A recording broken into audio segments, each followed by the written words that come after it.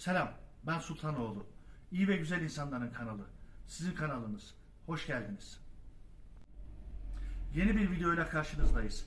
Bugünkü videomuzda motorlu testerede filtre değişimi nasıl yapılır konusunu işleyeceğiz. Ben sözü uzatmadan Erhan Usta'ya bırakıyorum. Buyurun başlayalım. Selamünaleyküm arkadaşlar. Daha önce benzin filtresinin nasıl temizlendiğini, nasıl yüke bindiğinde normal çalıştığını işlemiştik. Bugün de benzin filtresinin değişimini göstereceğiz. Kapağımızı açıyoruz yine. Hortumumuzu çıkartıyoruz. Burada filtremizin nasıl temizlendiğini göstermiştik. Bu filtrenin değişimini göstereceğiz. Çok basit aslında.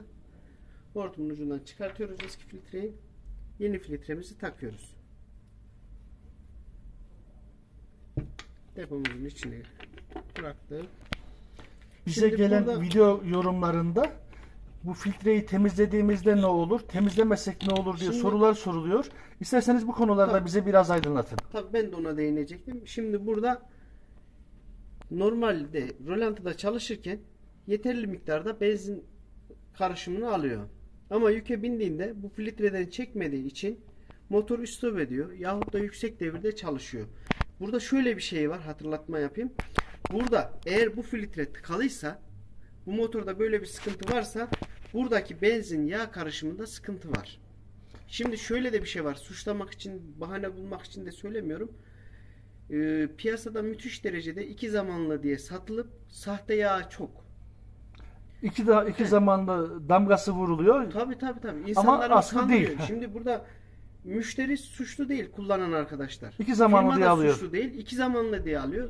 Kullanım şartlarına da uyuyor. Ama ya iki zamanlı yağ olmadığı için filtre tıkanıyor. Filtre ona göre ayarlı zaten. Gerçi Buraya iki zamanlı yağa ayarlı olduğu geliyor, için biz temizliyoruz. iki zamanlı yağımızla karışan benzini koyuyoruz. Motorda bir sıkıntı olmuyor. Ama tabi bunlar bahane değil. Bunu kullandığı zaman bu e, yanlış bir karışım olduğu için motora ilerleyen zamanlarda büyük zarar verir. Ha bunu değiştirdiğinde benzini değiştirmesi gerekiyor ki motor normalde bir yükte çalışsın. ha, öyle bir durumda depodaki benzini boşaltması Tabii, gerekiyorlar. Benzin yağ karışımını değiştirmesi Depodaki lazım. benzini değiştiriyor. Yeni benzin koyup orijinal iki Tabii. zamanlı yağdan Tabii. ilave edince Tabii. motoru güzel bir şekilde Tabii. çalışacak. Ha, şimdi ben şunu da söyleyeyim. Ee, dürüst yapan arkadaşları da karalamak istemiyorum bu konuda. Çünkü e, piyasada çok güzel yağlar da var iki zamanlı yağ. Ama ben tecrübelerime dayanarak buradan yaptığım, gördüğüm yani e, tamiratlarımda hep karşılaştığım bir sorun.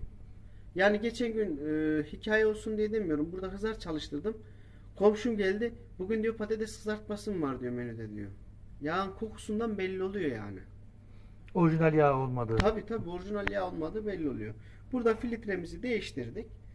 Bu sorunumuz gitti. Zaten buradan pompadan da görürsünüz. Doldurmaya başladı bak. Evet.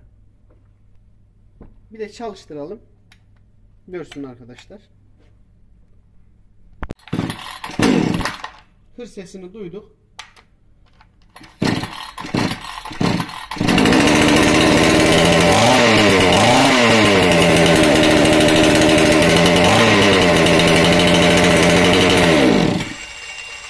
normal çalışmasına başladı. Tabi buradaki sorun motorun biraz tuturuklu çalışmasının sorunu benzin yağ karışımı oranı. Yani Tabi. izleyicilerimizin neye dikkat etmesi gerekiyor? Abi. Son kez sorayım. İki zamanlı motorlarda özellikle ricam şudur.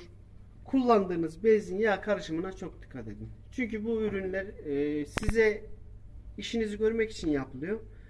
Yani malımızın kıymetini bilelim diyor ya. Bunlar bir milli servet. Yani sık sık da benzin filtresini temizleyelim ki bu sorunlar olmasın. Bir. İkincisi de e, kaliteli iki zamanlı motor yağı alalım. Tabii. Benzinimize oranında katalım.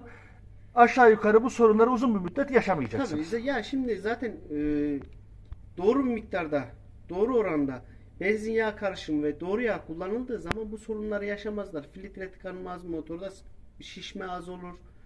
Tabii şimdi öbür türlü filtre tıkalı olduğunda e, tam benzini çekmediği zaman bu sefer ne oluyor? Motor çok ısınıyor. İstenmedik sorunlar oluyor. Silindir piston gidiyor. Adam artı bir, bir sorun daha var. Benzin gelmiyor diye buradan pompayı basıyor. Pompaladıkça da karbüratörün diyaframını patlatıyor. Şimdi normalde bunların çoğu kullanıcı hatası ama biz tabii çoğu şeyi kullanıcılarımıza yansıtmamaya Bütün çalışıyoruz. bunların önüne geçmenin en kolay yolu temiz filtre. temiz filtre ve benzin yağ karışımı. Umarım faydalı olmuştur. İzlediğiniz için teşekkür ederim. Ben sözü Mustafa abiye bırakıyorum. Bir videonun daha sonuna geldik. Umuyorum ki faydalanmışsınızdır. Kanalımıza lütfen abone olun, yorum yazın ve like atın. Bizi izlediğiniz için teşekkür ediyorum. Allah'a emanet olun. Selam ben Sultanoğlu.